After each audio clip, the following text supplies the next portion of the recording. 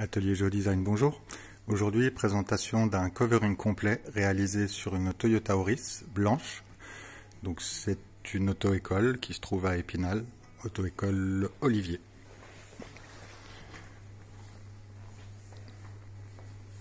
Donc covering noir laqué sur les coques de rétroviseur. Sur le pavillon.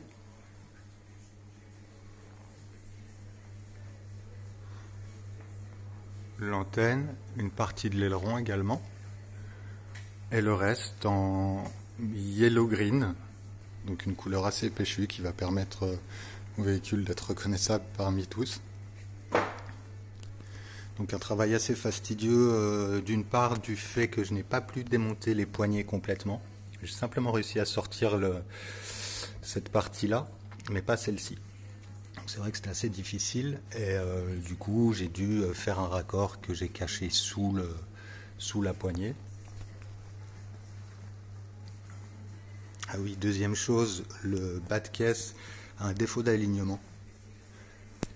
Donc euh, en regardant en dessous, je me suis rendu compte qu'un garagiste avait dû prendre appui avec le pont sur la petite plaque ici, mais il l'a complètement tordu et de fait le bas de caisse est rentré.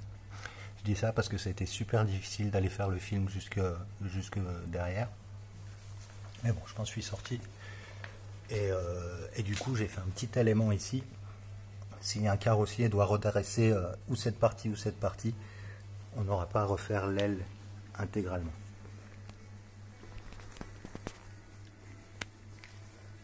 Voilà, sinon en termes de finition sur le bouclier,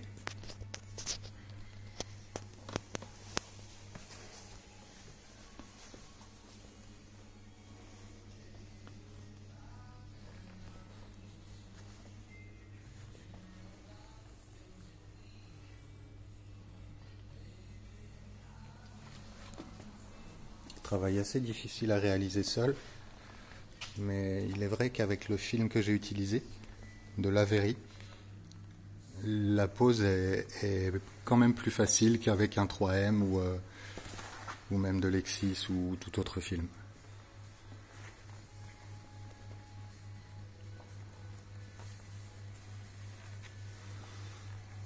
Puis dernière petite chose sur le bouclier arrière, une partie en, en texturé carbone qui permet de protéger un peu le seuil de chargement.